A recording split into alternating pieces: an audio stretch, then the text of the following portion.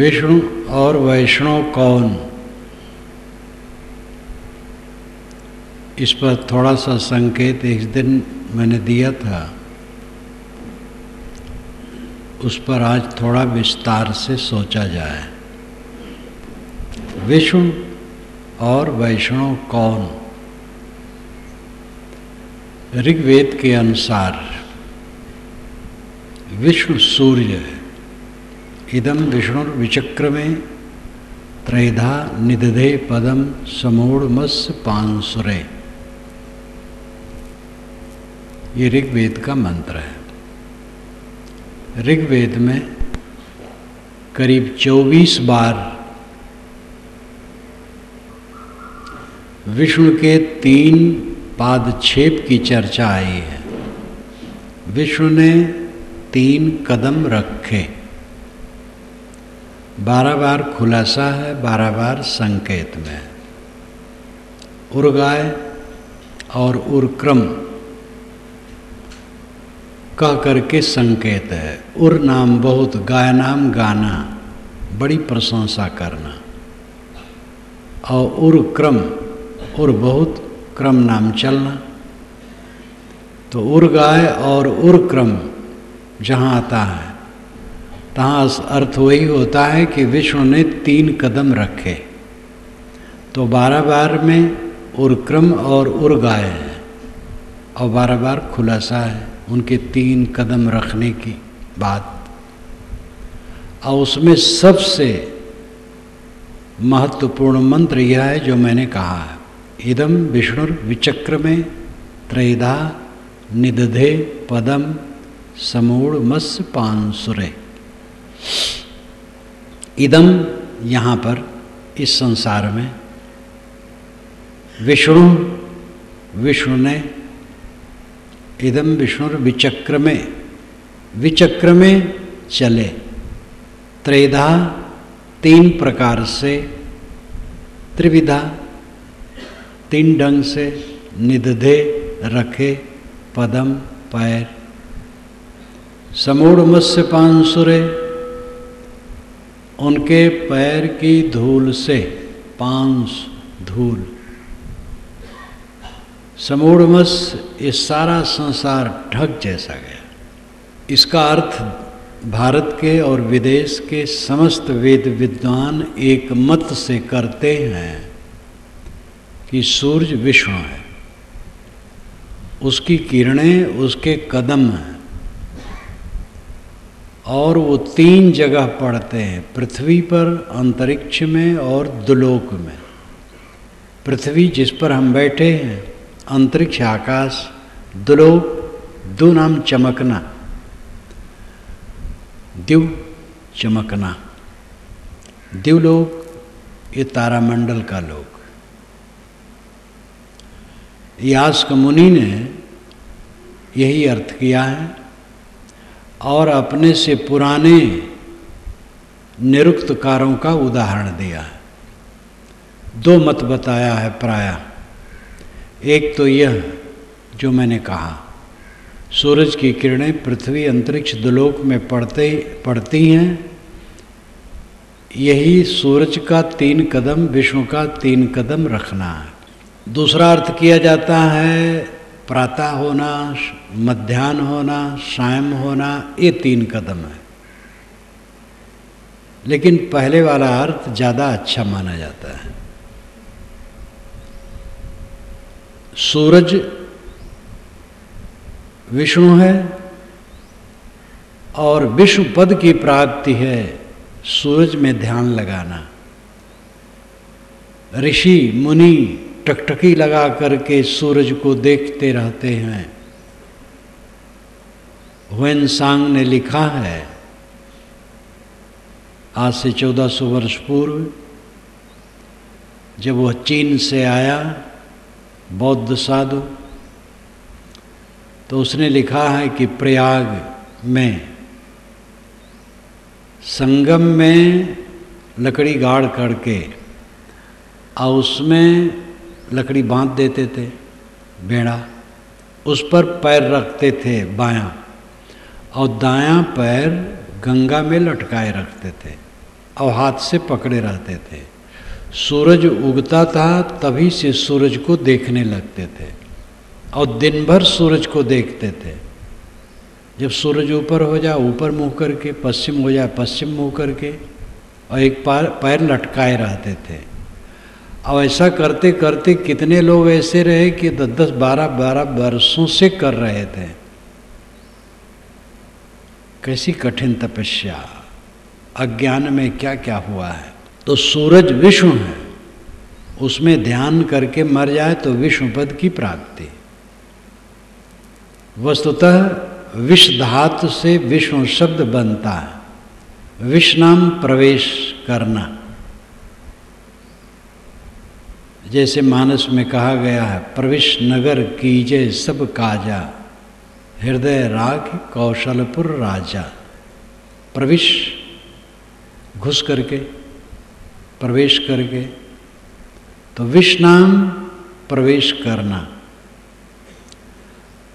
सूरज की किरणें सब जगह प्रविष्ट हो जाती हैं, इसलिए सूरज विश्व है। किंतु सूरज तो एक कण के बराबर है। अनंत विश्व ब्रह्मांड के सामने सूरज एक कण के बराबर है। हम एक वायुयान में चलें और एक सेकंड में वो दस खरब किलोमीटर चले और खरबों वर्ष चलते रहें तो क्या देश का अंत होगा? शून्य आकाश सर्वत्र है।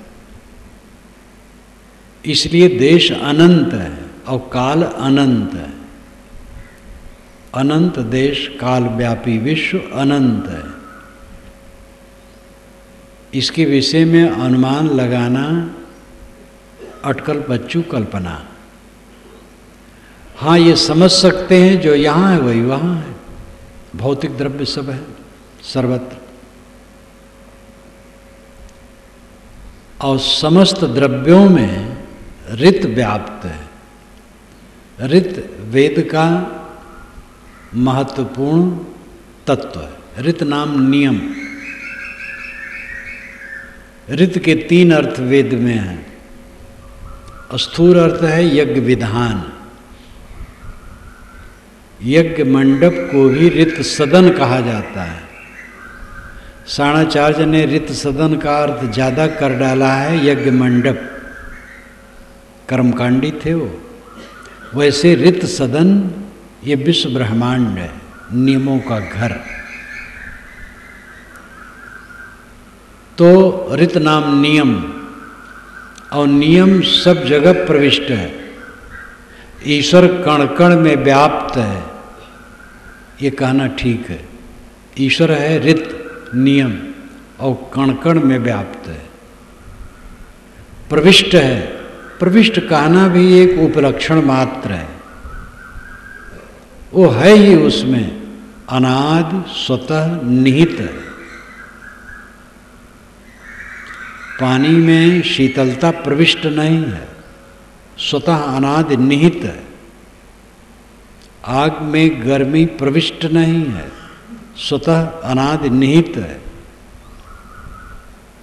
नियम अनादि से समस्त द्रव्यों में स्वतः निहित है, उपस्थित है, वही रित है, नियम ही रित है। वो रित विश्व है आदि दैविक विश्व आदि भौतिक विश्व और आध्यात्मिक विश्व।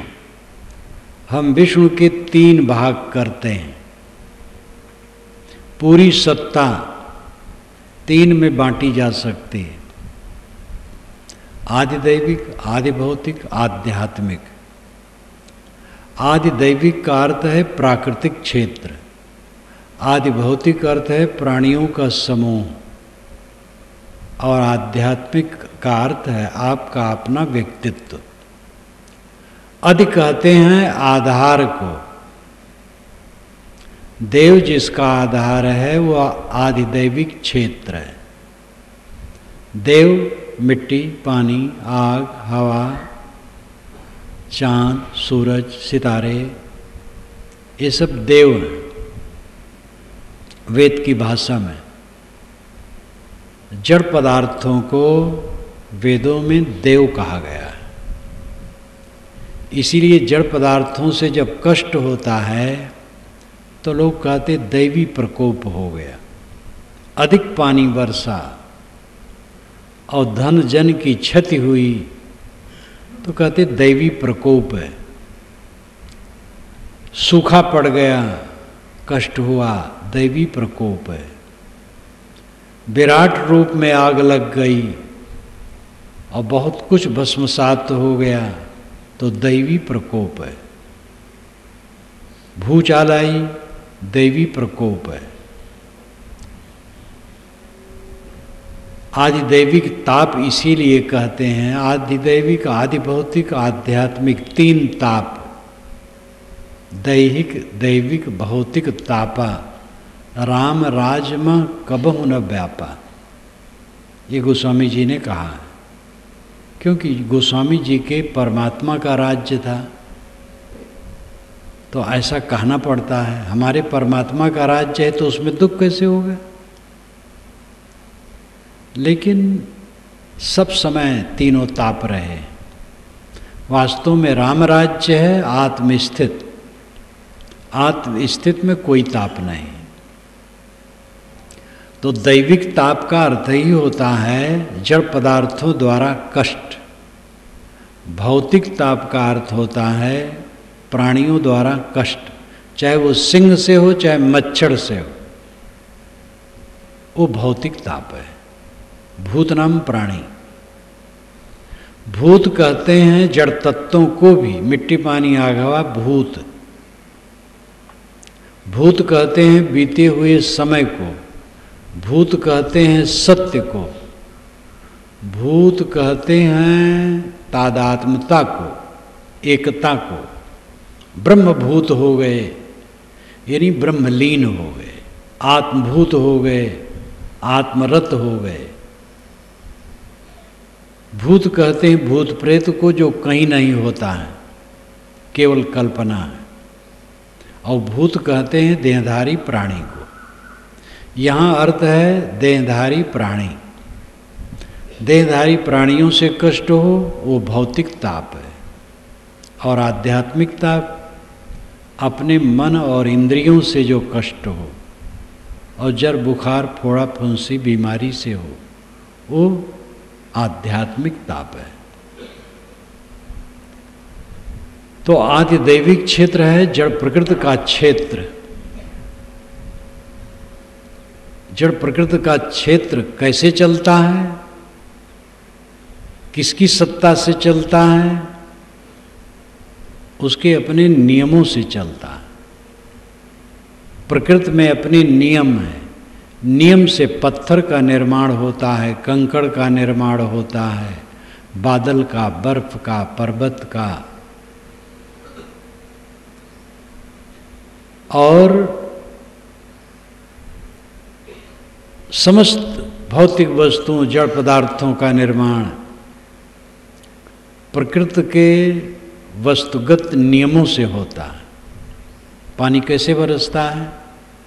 स्थूल बुद्धि वाला कहता है, भगवान बरसाता है। पिंडांडे सुब्रह्मांडे का अर्थ यही है कि जो भौतिक द्रव्य आपके शरीर में लगा है, वही ब्रह्मांड में भी है। एक दूसरा अर्थ कर लिया जाता है, पिंड में, इस शरीर में एक चेतना है और चेतना का अस्थाई तत्व चेतन आत्मा है।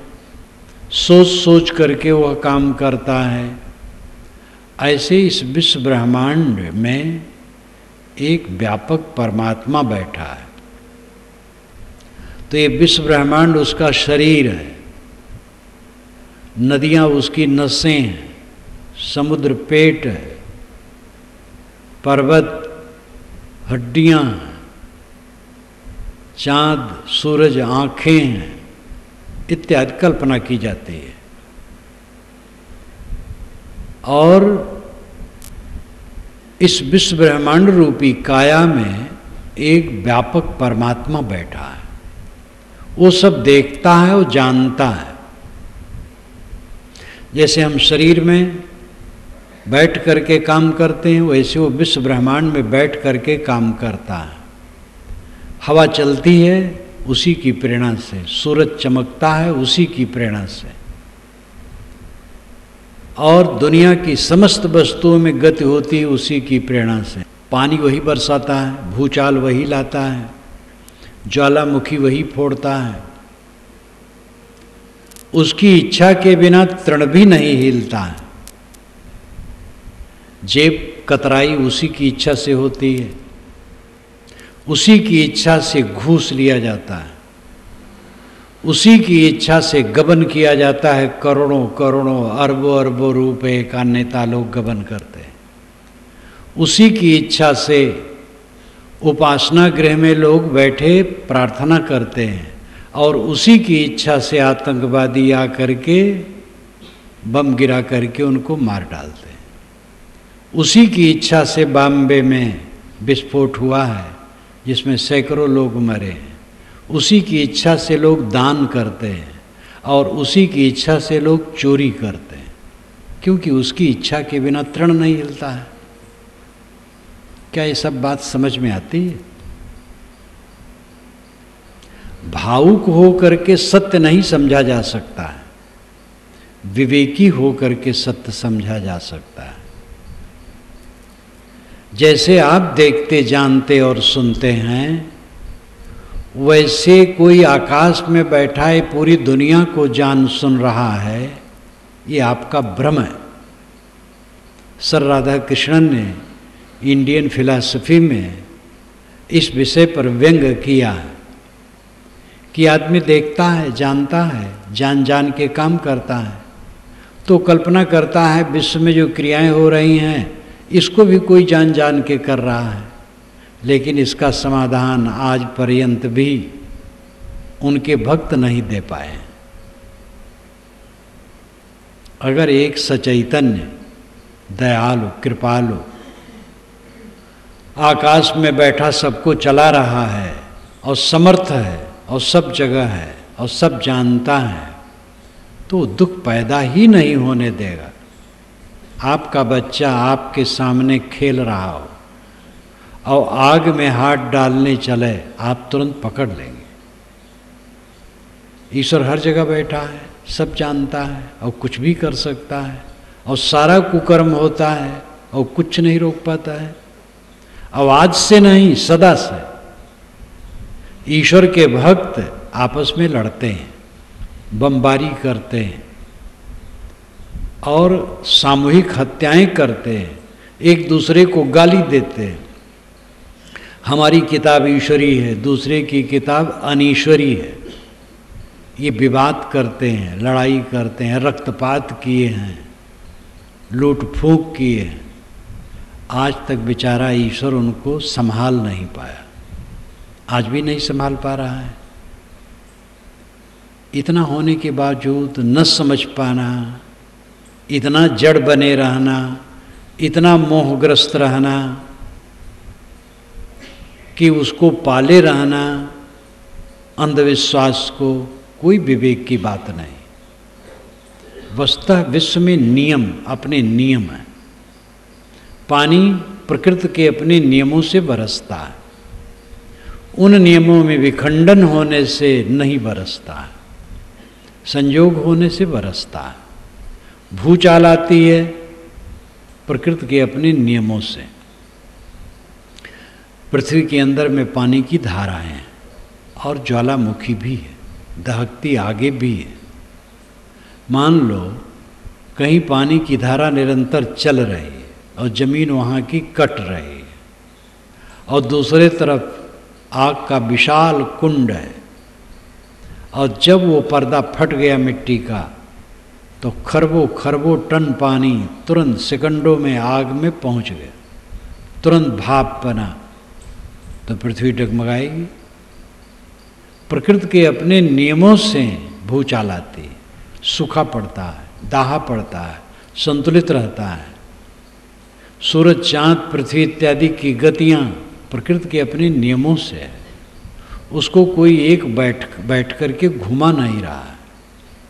ये विवेक की बात है। इसको समझ करके सही समाधान होगा।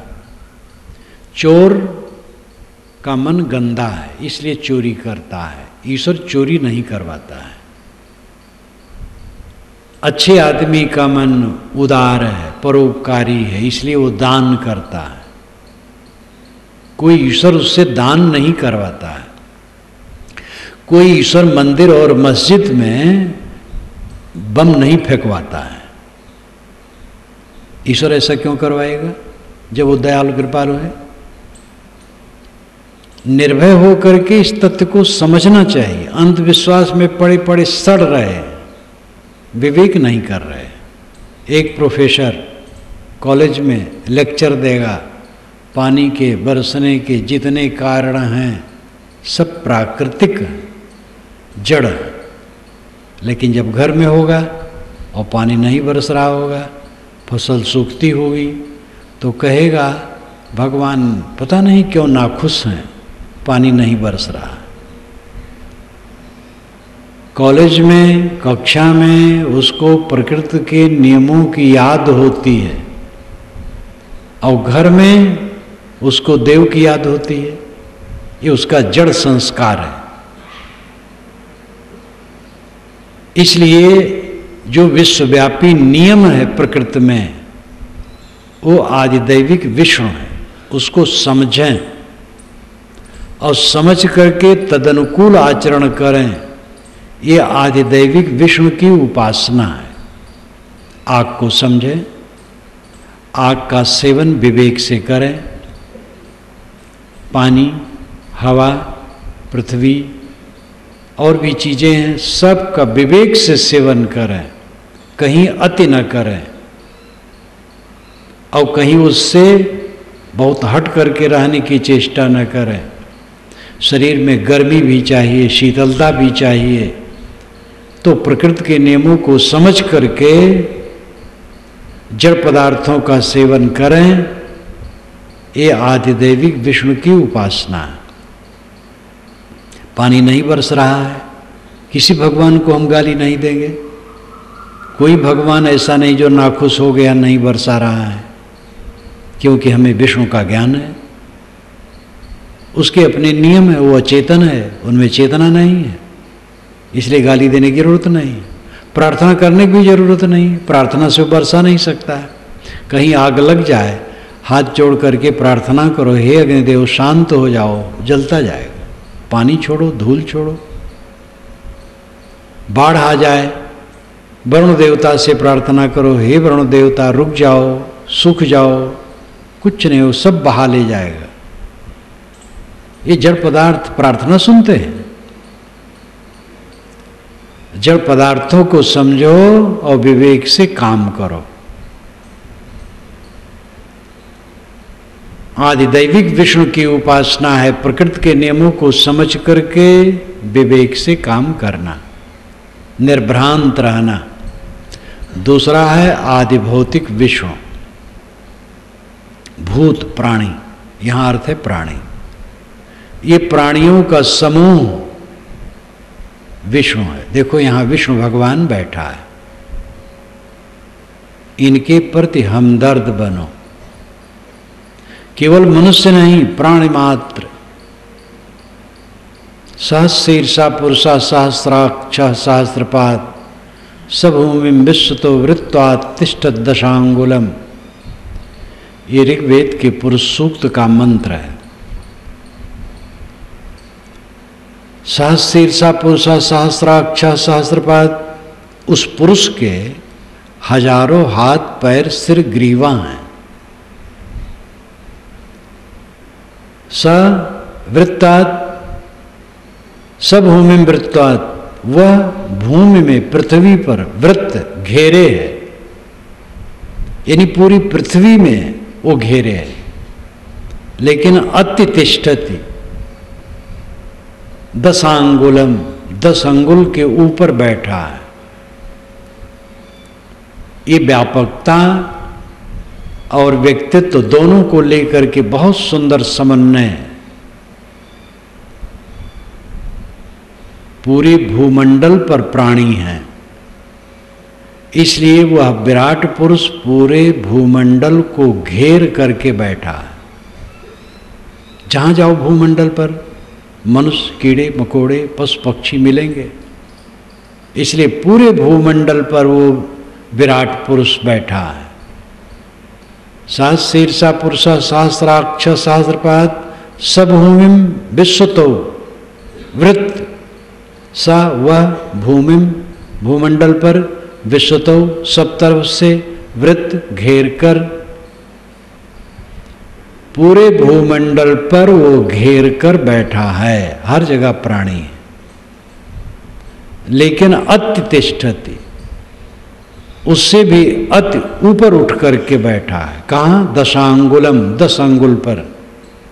नाभि से नापो तो दस अंगुल ऊपर हृदय, वो हृदय में बैठा। तो पूरा विराट पृथ्वी भर में बैठा है और हृदय में भी बैठा है। इसका अर्थ हुआ कि आप आत्मस्तित्व आपका हृदयस्थ है। हृदय भी लाक्षणिक है। हृदय मतलब नहीं कि मांस के लोथड़े में बैठा है। यानी शरीर में है जो आप हैं, और बाहर भी है। बाहर भी भगवान है, भीतर भी भगवान है। भीतर स्वसत्ता भगवान है, और बाहर ये सब प्राणी भगवान है। इसलिए प्राणी मात्र का समूह विराट पुरुष है। साणाचार्य ने यही भाष्य किया है। और साणाचार्य का भाष्य बिल्कुल युक्त युक्त है। वेदों का सुंदर भाष्य साण का है, जो आज से 700 वर्ष पूर्व हुए हैं। ऋग्वेद और अथर्ववेद, ये दोनों वेदों का उन्होंने भाष्य किया है। अथर्व में तो कहीं कहीं पदच्छेद करके छोड़ दिया है, वो समझे हैं सरल है सरल है भी। और भूमिका उसकी लिख दी, हर सुप्त पर भूमिका लिखी है। भूमिका में भेद खोल दिया है। भाषा भी उनकी बड़ी प्रांजल है। साण और शंकर दोनों की भाषा बड़ी प्रांजल है। तो साण ने भाष्य किया है और उनके भाष्य को मैं अपने वेद में रखा है इस मंत्र के अर्थ में। हिंदी में प्रवाह में बता दिया और टिप्पणी में उनका जो भाष्य संस्कृत में वो लिख दिया है। कोई भी पढ़ सकता है। भाष्य उनका बिल्कुल युक्त युक्त है। आदि भौतिक विषयों ये प्राणियों का समूह है। आदि, अधि अधि आधार, भूत भूत जिसका आधार हो, प्राणी जिसका आधार हो, वह विष्णु कौन है? प्राणियों का समूह। हम सब एक एक अंग है उसके, और सबको मिला करके विराट स्वरूप है। और उसका उदाहरण यहाँ से ले सकते हैं। ये समाज बैठा है, ये विश्व भगवान बैठा है, विराट पुरुष बैठा है। सब मिला करके विराट पुरुष है, और एक एक व्यक्ति जो हैं, उसके अंग हैं। बहुत बढ़िया उदाहरण है। पंच परमेश्वर गाँव में भी लोग कहते हैं। विवाद में कहते हैं, भाई देखो, पंच की बात माननी पड़ेगी, पंच परमेश्वर। जहाँ पाँच इकट्ठे हो गए, मानो परमात्मा आ गया। सब के सब झूठ नहीं होंगे। कोई झूठ कह सकता है। स्वार्थ बस, भय बस, सबके सब झूठ सब नहीं कहते इसलिए सामूहिकता का महत्व होता है। ये प्राणियों का समूह विराट पुरुष परमात्मा है, विष्णु है। इस विष्णु की उपासना है, किसी प्राणी को तकलीफ़ न देना, चलते, फिरते, किसी प्राणी को अपने तरफ़ से तकलीफ़ न देना। जहाँ बन सके, सुख देना, सुविधा देना, तकलीफ़ न देना। ये आदिभौतिक विष्णु की उपासना घंटों उपासना मंदिर में करें, मस्जिद में करें और प्राणियों को तकलीफ़ दें तो क्या उपासना है? तीसरा है आध्यात्मिक विष्णु आध्यात्मिक आत्मा जिसका आधार है, आत्मा किसका आधार है? शरीर, इंद्री, मन, प्राण इस सब का आधार आत्मा है। इसलिए हमारा पूरा शरीर व्यक्तित्व तो आध्यात्मिक है।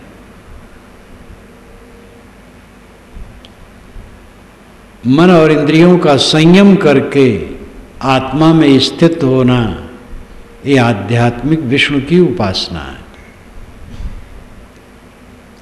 इस शरीर में विष्णु प्रविष्ट है, इसलिए विष्णु है। शरीर में आत्मा प्रविष्ट है, इसलिए विष्णु है। सभी प्राणियों में प्रविष्ट है। आत्मा।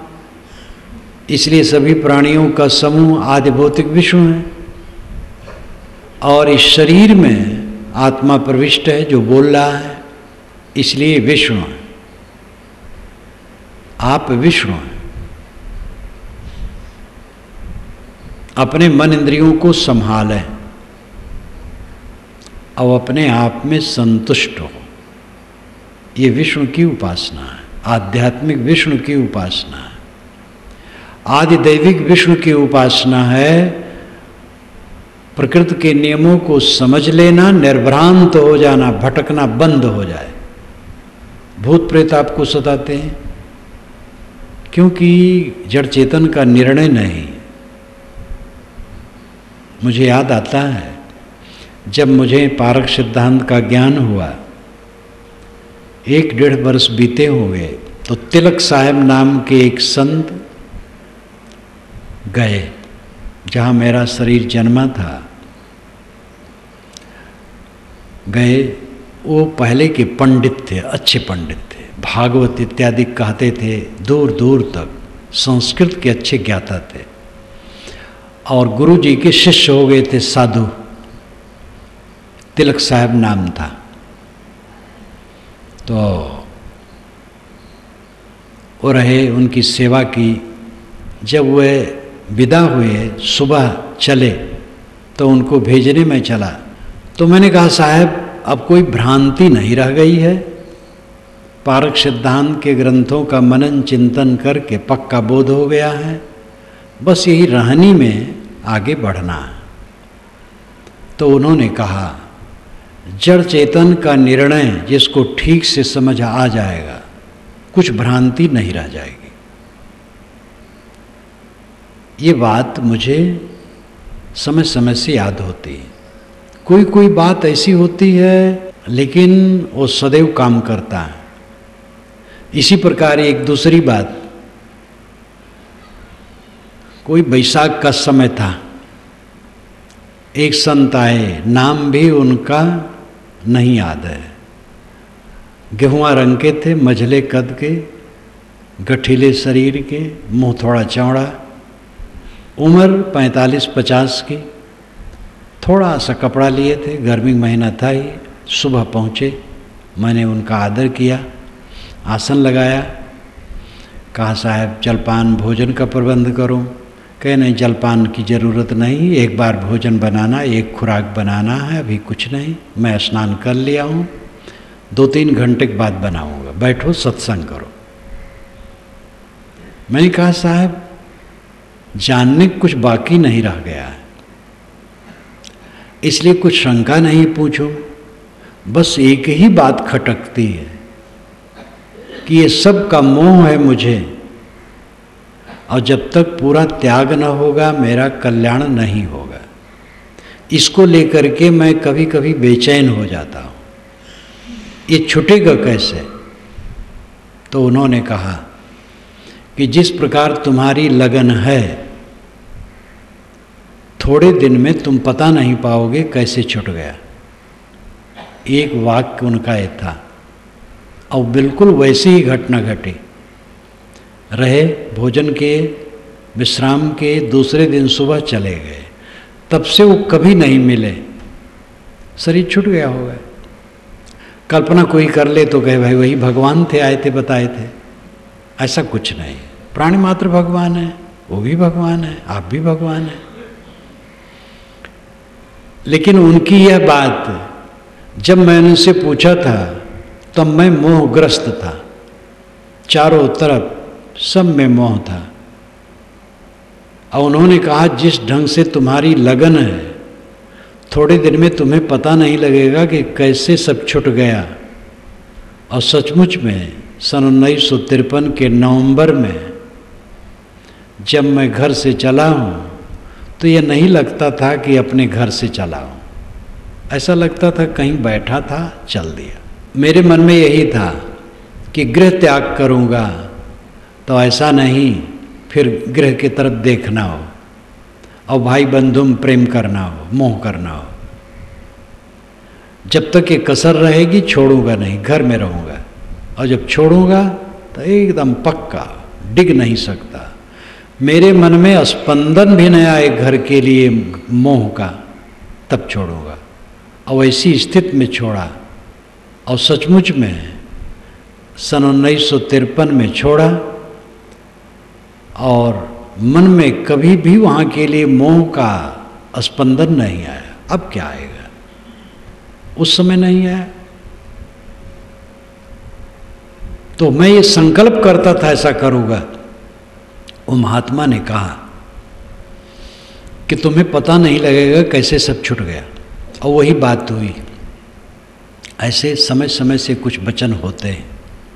तो तिलक साहब के ये वचन जड़ चेतन का निर्णय का पूरा बोध जिसको हो जाएगा, उसको भूत, प्रेत, जादू, टोना, जंतर, मंतर, झाड़, फूक, देवी, देवता, कुछ भ्रम नहीं रहेगा।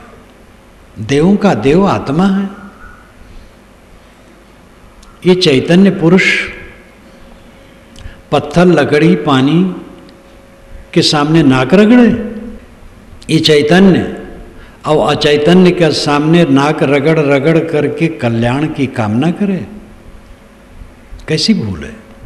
आध्यात्मिक विश्व। आत्मा है। आत्मा की उपासना अंतिम उपासना है। आदिदैविक विष्णु की उपासना है। प्रकृति के नियमों को समझ लेना और नियमों के अनुसार काम करना, निर्भ्रांत रहना। आदि भौतिक विश्व की उपासना है, प्राणी मात्र को तकलीफ़ न देना। और जो बन सके, उनको सुख सुविधा देना। आध्यात्मिक विष्णु की उपासना है, मन इंद्रियों पर संयम कर लेना और आत्मस्थित हो जाना। ये विष्णु की उपासना है। भारत माता की सेवा करना क्या है? एक, करीब 28-30 वर्ष की युवती का चित्र छपता है, तिरंगा हाथ झंडा हाथ में रहता है, खड़ी रहती है। उसको भारत माता कहते हैं। वंदे मातरम लिखा रहता है। उसी का चित्र या मूर्ति कोई रख करके पूजे और कहे, मैं भारत माता का उपासक हूँ। तो भोला है। पंजाब से बंगाल और कश्मीर से कन्याकुमारी, ये भारत माता है। इसके प्रति जो हमदर्द हो, इसके प्रति जो सेवा परायण हो, इसके प्रति जो ईमानदार हो, कामचोर न हो, घूसखोर न हो, मुफ्तखोर न हो काम चोरी घूसखोरी मुफ्तखोरी ये तीनों आत्मद्रोह, राष्ट्रद्रोह और प्राणीद्रोह है। घूस न लो काम चोरी न करो, जम के काम करो, जहाँ ड्यूटी है। मुफ़्त खोरी न करो। बिना शुल्क अदा किए चीज़ों का उपयोग न करो। कटिया लगा करके बिजली न जलाओ, बिना टिकट के न चलो इत्यादि। देश में कौन बसता है? हिंदू हैं कि मुसलमान हैं कि ईसाई हैं कि यहूदी हैं, जैन हैं, बौद्ध हैं, वैष्णव हैं, कबीरपंथी हैं, ये सब कुछ नहीं। देश में जितने लोग बसते हैं सब देश की संतान है। सबके प्रति समान दृष्टि होनी चाहिए।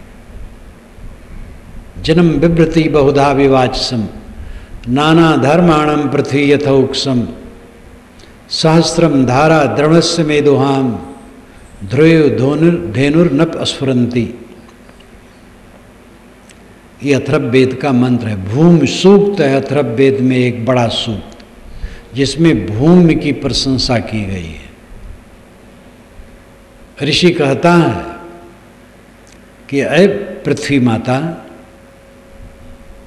जन्म विव्रति तुम जनों को धारण करती हो, प्राणियों को अपने में धारण करती हो, जन्म जनों को विभ्रति धारण करती हो, जन्म विभ्रति कैसे कैसे प्राणियों को, मनुष्यों को तुम अपने में रखती हो, बहुधा विवाच सम बहुत भाषा बोलने वाले बहुत भाषा बोलने वाले हैं और सबको तुम अपने में रखती हो।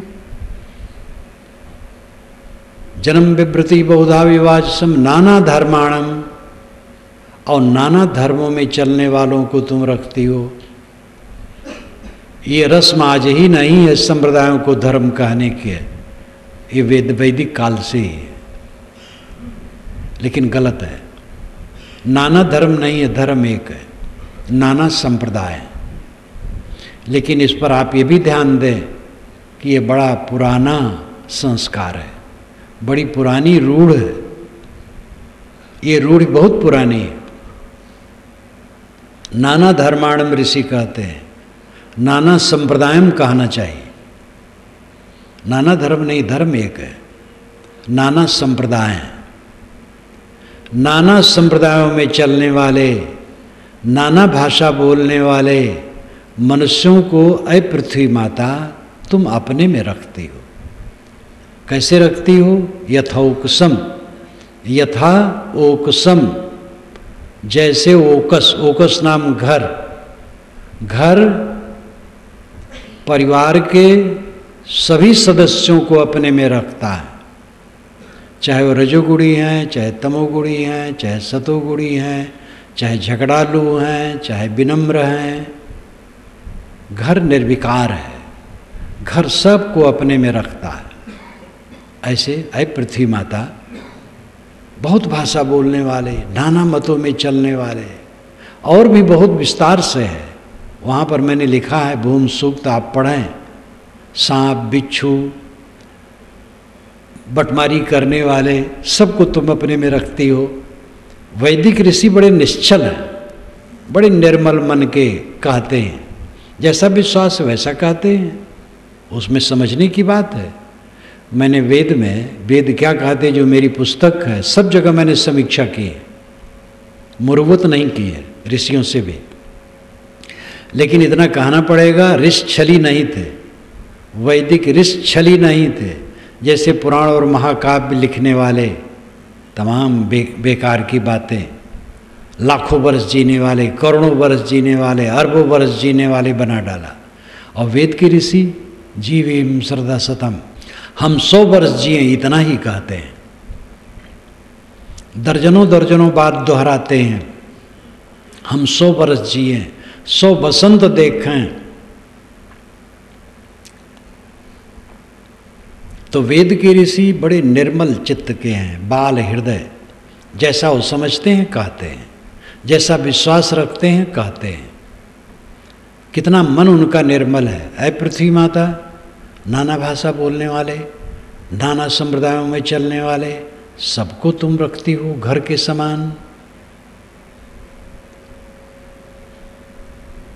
जन्म विवृति बहुधा विवासम नाना धर्माणम पृथ्वी यथोक्षम सहस्त्रम धारा द्रणस्य में दुहाम मे दुहाम मेरे लिए दुहो। सहस्त्रम धारा, हज़ारों धाराओं से द्रणस्य धन को।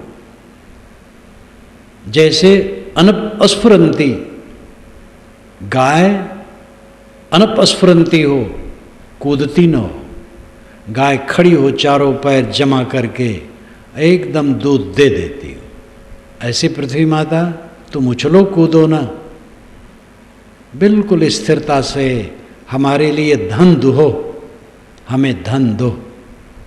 बड़ी मीठी मीठी बातें।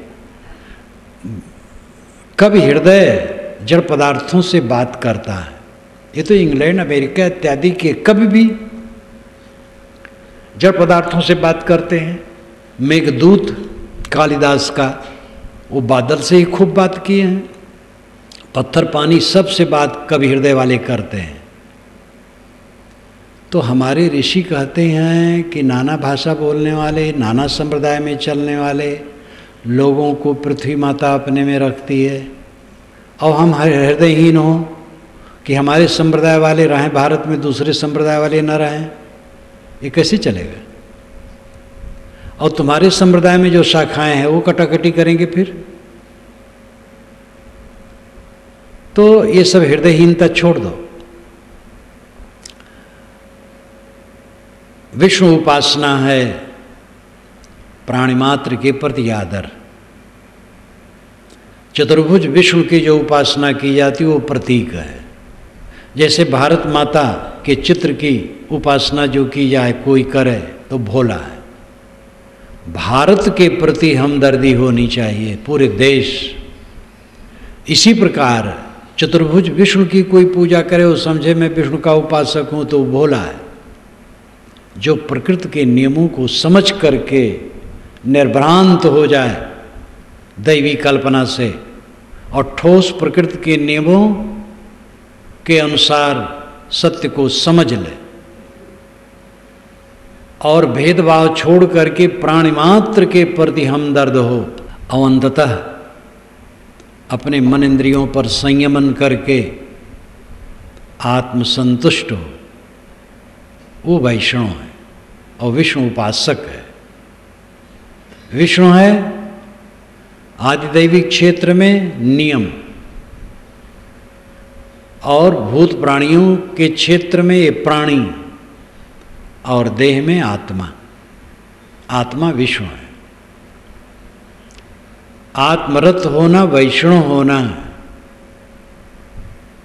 अपने को संभालो। मन इंद्रियाँ आपके साथ हैं।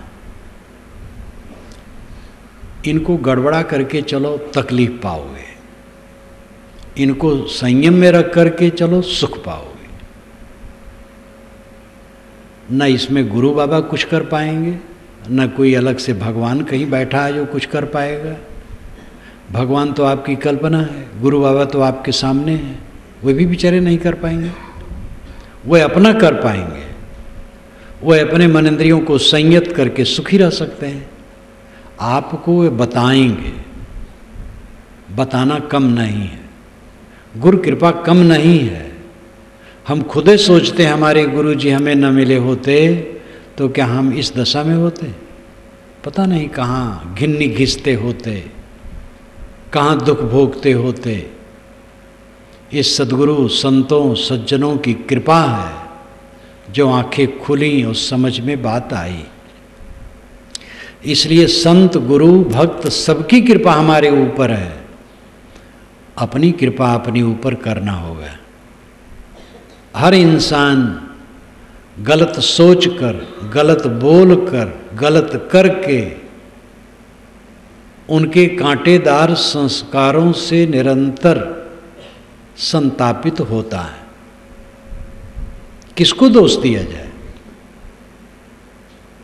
किसी ने हमारे साथ सुंदर बर्ताव नहीं किया, उसकी कमी है, उसका नुकसान हो गया। हम क्यों दुखी हो गए?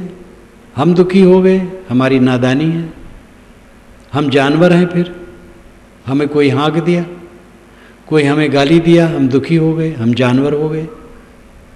हमें हाँक दिया जो आदमी होता है, उसको कोई हाँक नहीं सकता, जानवर को हाँका जाता है। किसी के अनुकूल बर्ताव से हम मोहग्रस्त हो गए उसमें, और किसी के प्रतिकूल व्यवहार से हम द्वेषग्रस्त हो गए तो हम जानवर हो गए। निमित्त सदैव बने रहेंगे, जैसे यहीं आकर के कोई हमें गाली देने लगे। हम दुखी हो जाएँ। तो हम कहें, भाई, हम क्या करें? उसने मुझे गाली दी तो दुख होगा ही। तो होगा ही। भोगो दुख, कभी तुम सुखी नहीं रहोगे। गाली देने वाला निमित्त मात्र है। हम उसको न स्वीकारें। हम दुखी नहीं होंगे। और निमित्त जीवन भर बना रहेगा। कभी कोई गाली देने वाला मिलेगा। कभी चीज़ों की शिकस्ती होगी, कभी निंदा होगी, कभी प्रशंसा होगी, कभी अनुकूलता होगी, कभी प्रतिकूलता होगी, कभी घाटा होगा, कभी मुनाफा होगा। ये निमित्त जीवन भर बने रहेंगे। और इन्हीं में पढ़ करके हम आंदोलित होते रहेंगे तो आत्म शांत की साधना का काम कब करेंगे? क्या ऐसी कुंवारी भूई मिलेगी कहीं? अवध क्षेत्र में कहते हैं, कोई दुखी बहुत है, कोई समझदार है। तो कहता भैया, कोई कोई कुंवारी भूई थोड़े है कि जहाँ तुम बैठ जाओ, वहाँ कोई दुख न हो? कुंवारी भूई, यानी निर्दोष स्थल। कोई ऐसा निर्दोष स्थल है कि जहाँ रहो, कोई तकलीफ़ ना हो? ये संसार ताप का घर है। ऐसा मज़बूत कवच पहन लो। ब्रह्म, वरम ममांतरम। ये भी वेद के मंत्र का अंश है। जहाँ पर युद्ध की बात आई है अस्त्र शस्त्र का बड़ा वर्णन है। वो भी मैंने वर्णन किया है अस्त्र शस्त्र वेदों में जैसे है। तो अस्त्र शस्त्र का खूब समारोह के साथ ऋषि ने वर्णन किया, लेकिन अंत में क्या कहा है? ब्रह्म ब्रह्म ममांतरम। ममांतरम, मेरे अंदर ब्रह्म ही वर्म है। वर्म नाम कवच। मेरा जो अभेद कवच है, वो ब्रह्म है। अब इसका भी दो अर्थ कर लेते हैं लोग। कर्मकांडी लोग करते हैं। ब्रह्म नाम वेद का मंत्र। वैसे ब्रह्म पहले आग को कहा गया है। बृहत्वाद ब्रह्म। जो बढ़े वो ब्रह्म, और जो बड़ा हो वो ब्रह्म। आग जलाओ तो बढ़ जाती है। आग बड़ी है क्योंकि प्रकाश देती है, इसलिए आग ब्रह्म है। आग में हवन करने के लिए वेद मंत्र बनाए गए, इसलिए वेद मंत्र को ब्रह्म कहा गया। और वेद मंत्रों द्वारा बोल करके जो आग में हवन करे, उसको ब्राह्मण कहा गया। तो वेद मंत्रों को ब्रह्म कहते हैं। साणाचार्य अधिकतम ये अर्थ करते हैं। जहाँ आएगा, ब्रह्म तो कहते हो वेद मंत्र। लेकिन हर जगह वेद मंत्र नहीं है। ब्रह्म वरम ममांतरम, मेरे भीतर तो वेद के मंत्र ही कवच हैं। यानी वेद मंत्र द्वारा अभिषिक्त करके जब बाण छोड़ा जाएगा तो अचूक होगा। ये भ्रम है। वेद मंत्र का फूंक दो। और फिर वो बाण मारो तो लग जाएगा। ऐसा कुछ नहीं। अब आपको नहीं लगेगा। ब्रह्म है आत्मा। ब्रह्म है चित्त की शुद्धि। ब्रह्म है निर्मलता। वही हमारे अंदर का कवच है। और ये अर्थ भी पूरा काल से होता आया है। आज से 2800 वर्ष पूर्व यास्क मुनि हुए हैं, जो निरुक्तकार हुए हैं। उन्होंने निरुक्त वेदों का निरुक्त लिखा है। और 22 निरुक्तकारों का उदाहरण दिया है। लेकिन उन 22 निरुक्तकारों का कोई निरुक्त नहीं मिलता है। केवल यास्क मुनि के निरुक्त में ही उनका नाम मिलता और उदाहरण मिलता है। 2800 वर्षों से केवल यास्क मुनि का ही निरुक्त है।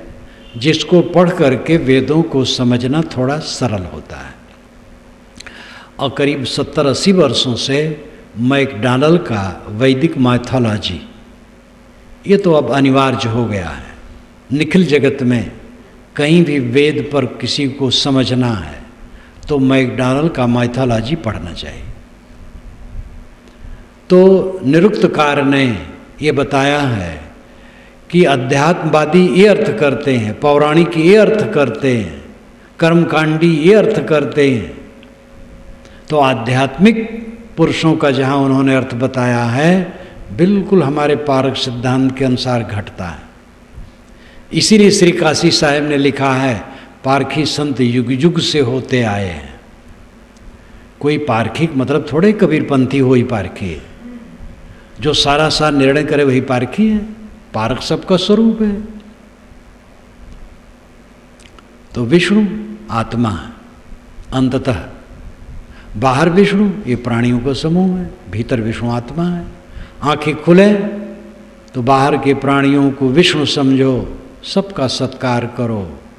कोई भी हो, हिंदू, मुसलमान, ईसाई, यहूदी, अपना पंथ, दूसरा पंथ, कुछ नहीं। प्राणी मात्र, कीड़े, मकोड़े भी, जहाँ तक शक्ति चले किसी को तकलीफ़ न दो। ये बाहरी विश्व की उपासना है।